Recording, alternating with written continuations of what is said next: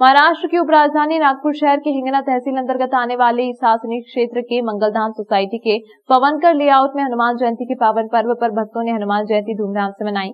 कहीं पर भजन कीर्तन भंडारा तो कहीं पर हनुमान जी की प्रतिमा की हुई स्थापना।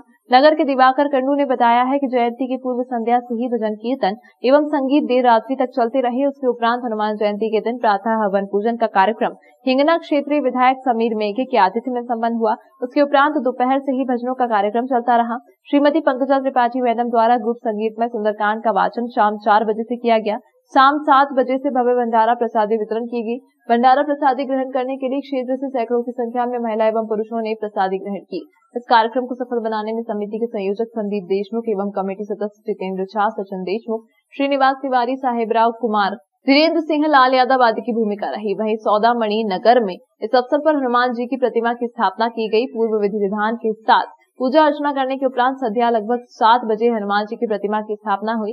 इस अवसर पर नगर की बड़ी संख्या में महिला एवं पुरुष उपस्थित थे, जिसमें अमर लोखंडी, छोटू पटेल, अरविंद पेटकर, नीलेश धारपुरे, शालू तिवारी आदि मौजूद थे।